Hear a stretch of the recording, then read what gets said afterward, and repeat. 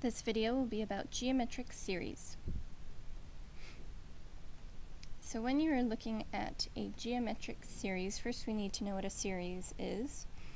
And it's basically a list of numbers that usually have something in common. Um, so like we could do 1, 4, 9, 16. This series, what it has in common is they're all perfect squares. I had to do 1 squared to get the first one, 2 squared, 3 squared, 4 squared. Or I could do 2, 6, 10, 14. And the dot dot dot just means keep going in the same pattern. So for this series, I'm adding 4 every time. This first one doesn't have its own particular name. When you add the same number every time, this is called arithmetic. And the last one we're going to talk about is the geometric. So geometric is a series where you're multiplying by the same number every time. And some of them are pretty easy to tell what you're multiplying by. 3 times 3 is 9 times 3 again gives you 27. 9 times 3 gives you 27. 27 times 3 gives you 81. So this is our geometric series, when you're multiplying by the same thing every time. And there are some important things of the series. The first important thing is the first term. That will help us when we're getting ready to do the formula. The second important thing is this common ratio, what we're multiplying by every single time.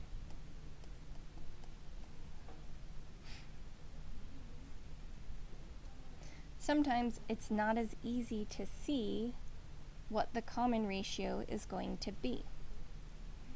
So let's say we have the series 5, 35 over 2, 245 over 4, and 117, 1,715 over 8. Now the way this is written, I have no idea what I would multiply 5 by to get 35 over 2. It's not as easy to see right off the bat what it is. So when you have a series like this, it's easiest to take the second term and divide it by the first term so that you can figure out that common ratio. If we do 35 over 2 divided by 5, I'm going to make this a decimal first. 35 divided by 2 is 17.5, and then 17.5 divided by 5 is 3.5. So 3.5 is our common ratio.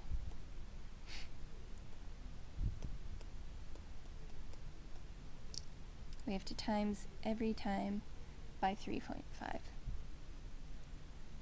So one thing these um, geometric series will ask you to do is to find the next three terms.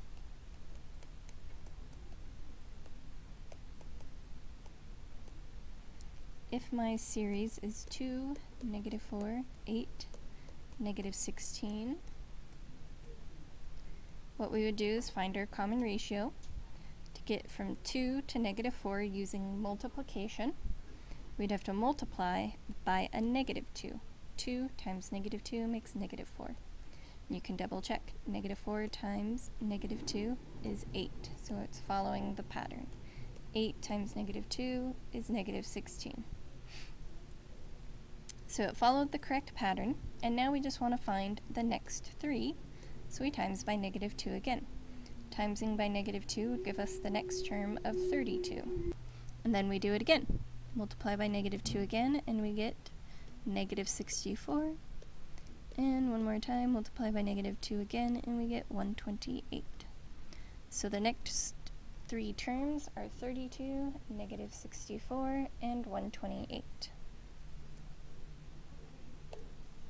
Let's do one more example.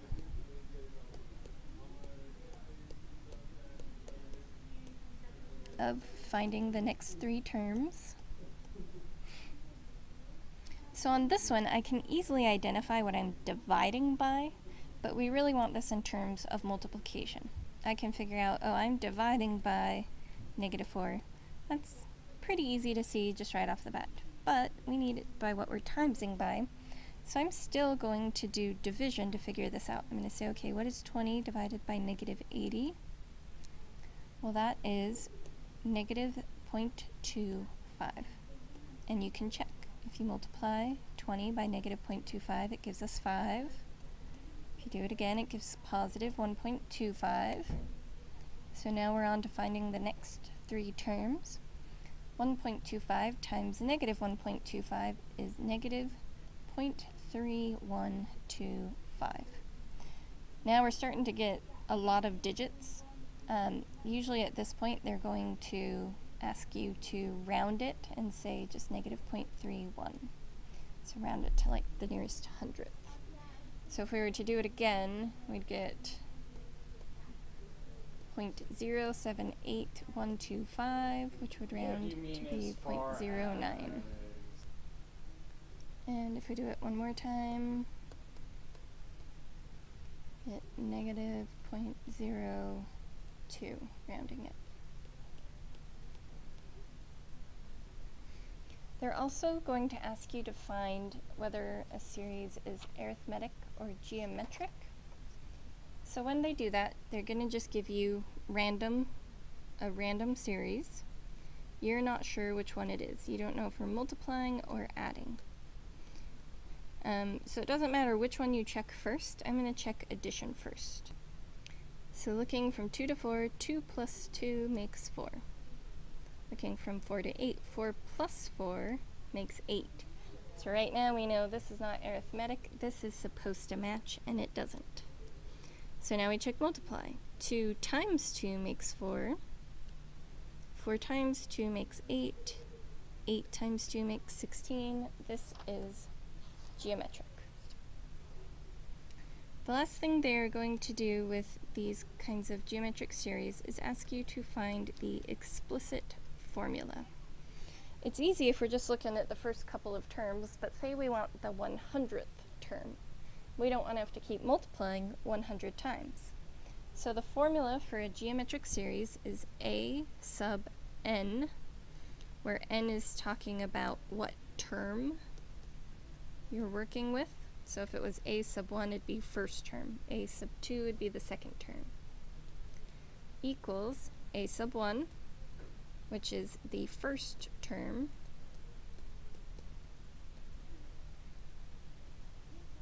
times r, that is that common ratio, what you're multiplying by every time, to the n minus 1. And again, is n is talking about whatever term you're trying to find.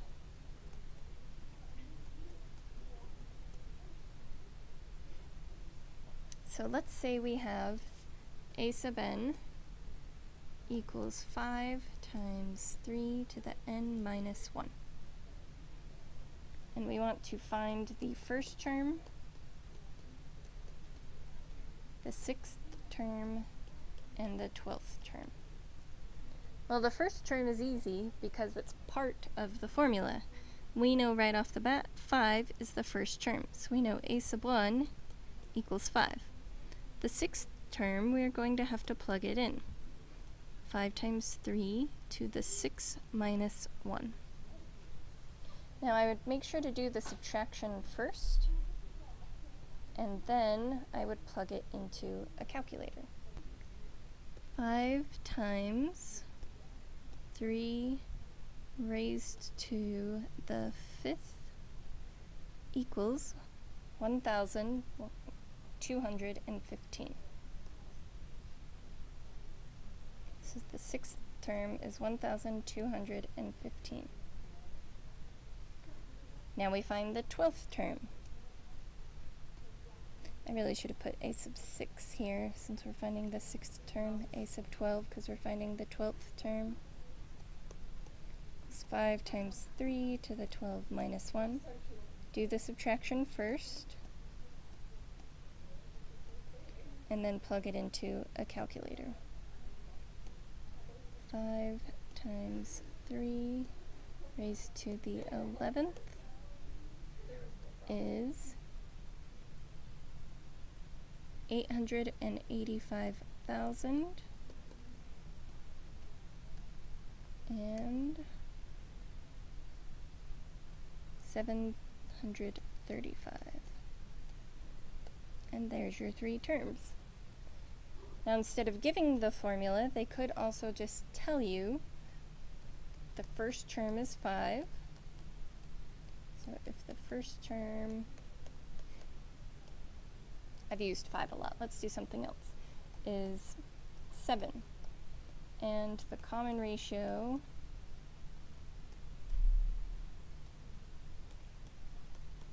is 1.75. Find the 10th term.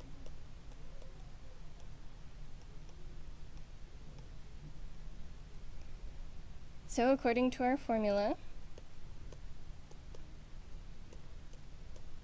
a sub 1 was our first term, so we replace it with 7 because that was our first term. Our common ratio is 1.75, and we're looking for the 10th term. So they may ask for the formula first. The formula itself would not involve what you're trying to find. Then they may just put the answer. I think they really like put comma and then the answer would come next. But first we have to find it. So the 10th term, we plug in 10. 10 minus 1 is 9. And then plug it into a calculator. 7 times 1.75 raised to the 10th. And we get a big long decimal. We're just going to do two digits after. 1885 0.7. The 2 would round up to a 3 because the 5 next to it is bigger, is 5 or bigger. So 1885 point seven three. So the formula would be this. The amount would be the 1885.73. That is the 10th term. The last thing they talk about is um, applying it to a word problem.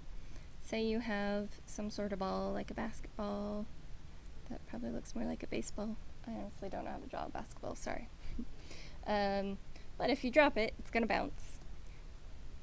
And with each bounce, it doesn't go quite as high as the one before it. So they have a way to calculate how much it's decreasing by. So let's say each curved path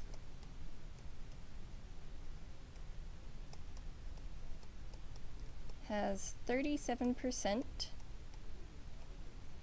of the height of the previous path.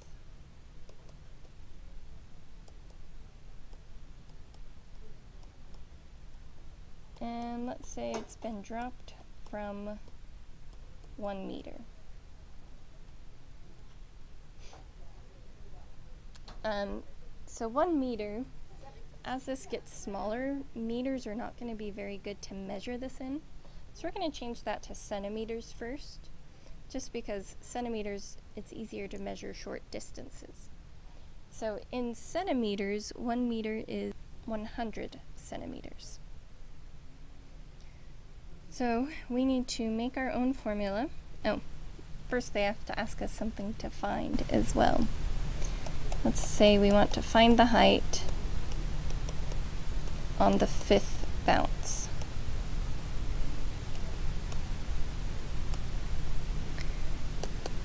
So our first term when we're applying this will be the height it's been dropped from.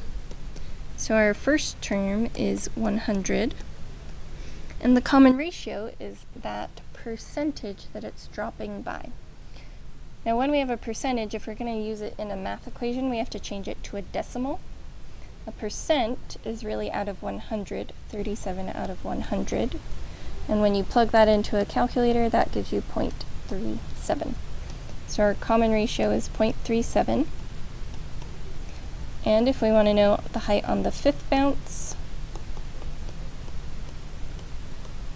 we put in 5 for n, 5 minus 1 will give us 4, and 100 times 0.37 to the fourth is 1.87 centimeters.